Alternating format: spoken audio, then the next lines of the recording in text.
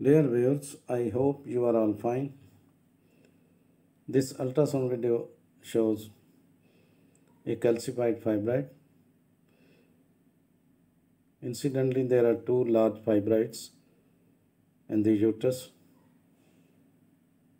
and the one showing a stone-like shadowing is a calcified fibroid. The other fibroid lying beside have no signs of calcification. Calcification is a process in which calcium builds up in body tissue, causing the tissue to harden. A calcified fibroid is a mass fibroid reaching the final stage of degeneration or cell death, and calcium deposits develop on the remaining fibroid tissue. Fibroids are benign tumors that develop in or on the uterine wall Fibroid degeneration is usually seen in a woman approaches menopause. Now you can see the measurement of the fibroid which is showing no calcification and it measures about 6.6 centimeter into 7.0 centimeter. Quite a large fibroid.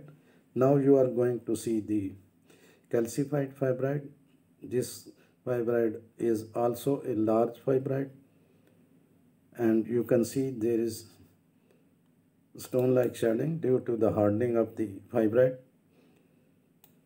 Calcified fibroids are different only because they typically have become larger than the blood supply that was attributed to the growth.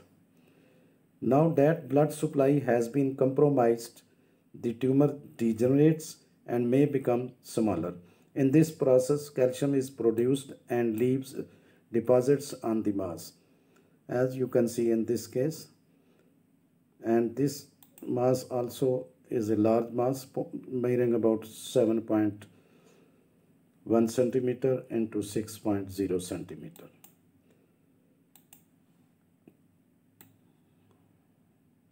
The fibroid is now calcified and has a somewhat grainy texture.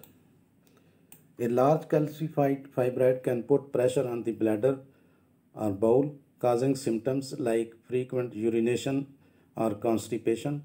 In addition, calcified fibroids may act like regular fibroids, causing abdominal pain, pressure, and other unpleasant symptoms.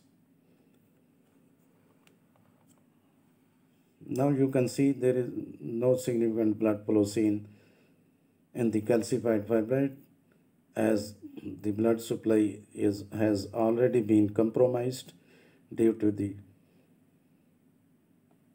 calcification.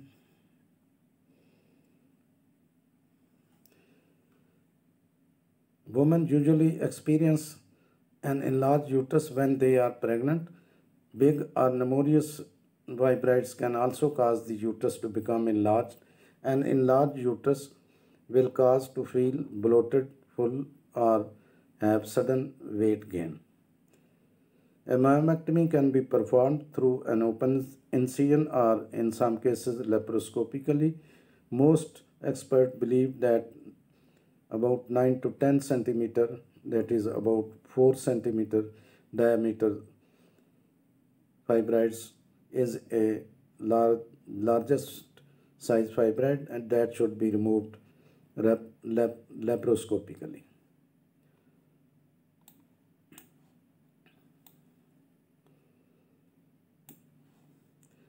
But in most cases, calcification often produces no symptoms. One of the main indicator of degenerating fibroids is an acute stabbing pain and swelling in the abdomen the pain and swelling are caused by the release of chemicals from the fibroids as, as the cell die. Some women may also experience a fever.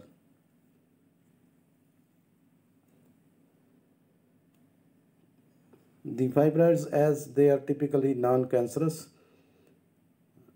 so you can decide whether or not you want to have them removed.